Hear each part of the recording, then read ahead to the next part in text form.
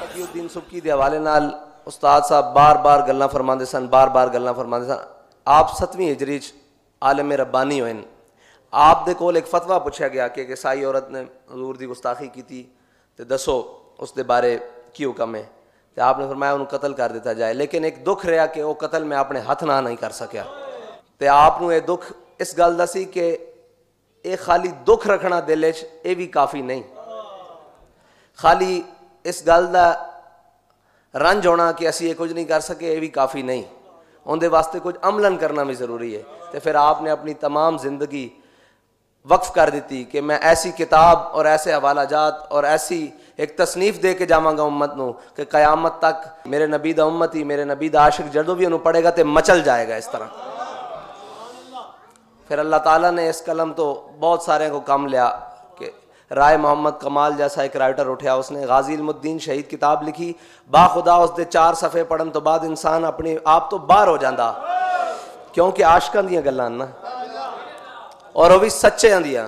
फिर उन्हें लिखा नामू से रिसालत के साथ शहीद। अल्लाह अल्लाह अल्लाह। इंसान के अंदर एक इश्क की अग जला देंगे शोला।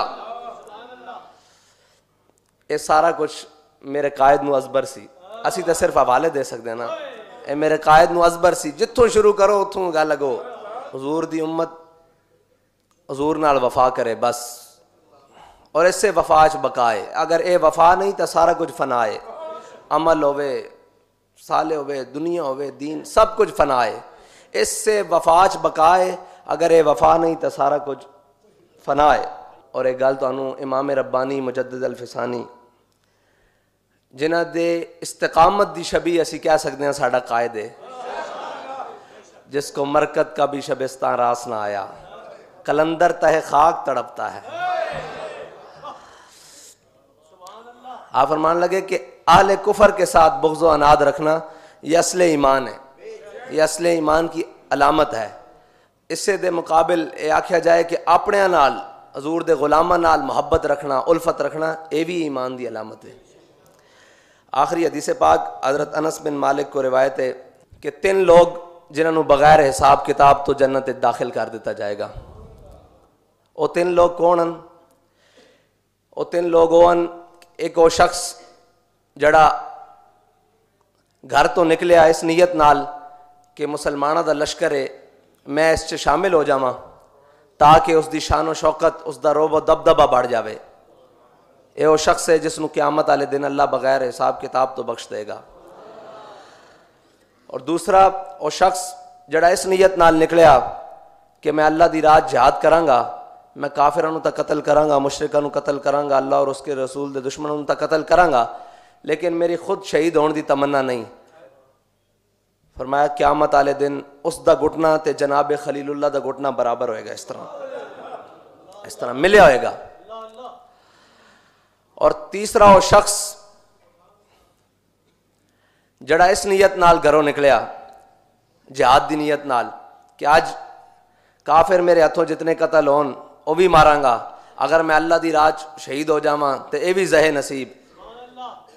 तो फरमाया, क्यामत आए दिन वो इस हाल च पेश होएगा कि जिस हथियार नाल उसने जहाद किया होएगा, उन्हें बरहना करके इस मोढ़े ते रखा होएगा।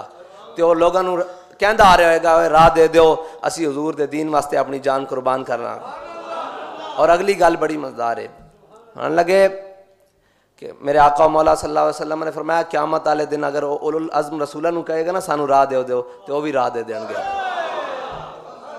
अल्लाह ताला सानू आखिरी गल ते अमल करन दी तौफीक सानू आखिरी नंबर ते रखे कि असी हजूर दे दीन दे वास्ते हजूर दे दुश्मनों दी गर्दन उतार भी सकीए जे देनी पै जाए तो इंज अगे पेश और बाखुशी दे दईए और इस नीयत ना दे दिए कि या रसूल अल्लाह मेरा तन भी ਤੁਹਾਡੇ ਵਾਸਤੇ ਮੇਰਾ ਮਨ ਵੀ ਤੁਹਾਡੇ ਵਾਸਤੇ ਮੇਰਾ ਅਸਾਂ ਸਭ ਕੁਝ ਰੱਖੇ ਹੀ ਹਜ਼ੂਰ ਵਾਸਤੇ ਕਿਉਂਕਿ ਸਾਡੇ ਕਾਇਦ ਦੇ ਸਾਹਮਣੇ ਕੋਈ ਕਹਿੰਦਾ ਸੀ ਕਿ ਕਾਇਦ ਕਦਮ बढ़ाओ हम तुम्हारे ਆ ਫਰਮਾਉਂਦੇ ਸਨ ਉਹ ਝੱਲਿਆ ਅਸਾਂ ਗਰਦਨਾਂ ਵਧਾ ਦਿੱਤੀਆਂ ਹੋਈਆਂ अल्लाह तला साड़िया गर्दन वी हुई कबूल कर लवे।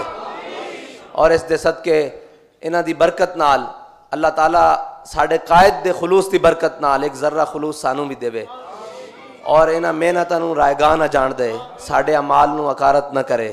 सानू अमल की तोफीक दे और साढ़े अंदर वो इखलास वो मुहब्बत वो उल्फत भर दे और तड़प भर दे कि असी हजूर दे दीन तख्ते ले आईए। और फिर उत्थे बैठ के कहीए कि इन्हें जाना। इन्हें जाना।